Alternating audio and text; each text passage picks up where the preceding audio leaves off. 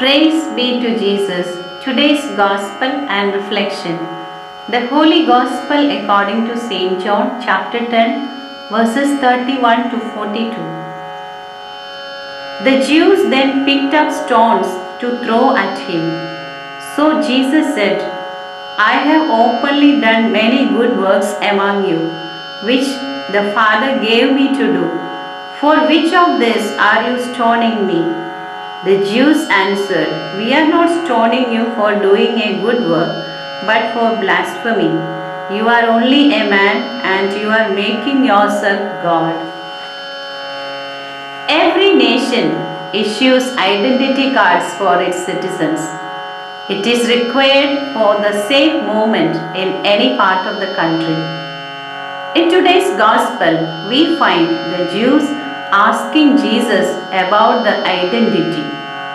Jesus came to the world with all the love of the Father. His mission was to make this love known to his children. But the people did not accept and respect Jesus. Everywhere, rejection and humiliation welcomed him. The people showed so much of disrespect that they even started taking stones to throw at Jesus. The Son of God had to face such a gruesome act.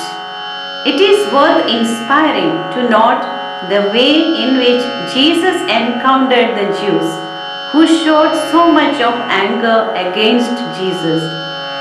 He in fact challenged them to forego their evil ways and come back to the true path. Jesus always worked for the salvation of souls, as it is said, I have not lost one of those you gave me. John 18 9. The patience and the courage in speaking to the Jews is worth reflected.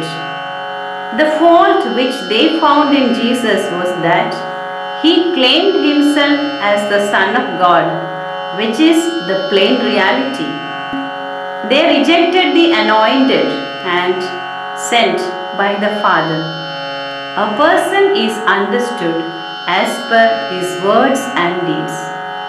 Jesus made it very clear to see whether his words and actions prove his identity as the Son of the Father.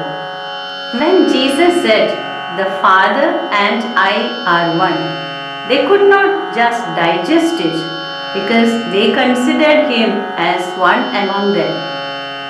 Jesus had to flee from the place as the situation became worse. Why did Jesus face such opposition from the Jews? The answer is very simple because they had their own hidden agendas and they were not open to the Spirit to believe that Jesus was the Messiah who came to save everyone. Jesus overcame the situation with wisdom and the Spirit of the Lord. We too face similar situations. Sometimes we have to prove our identity. At times we find our identity proof does not work at all, as we see around. Jesus inspires us to walk the talk.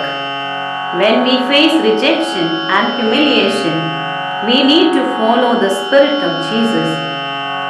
We need to continue the good work we do and move forward to other areas so that the kingdom of God may be spread through our words and deeds. The Lord, who is the source of inspiration, will give us the courage and the grace to follow the path of the Lord. Amen.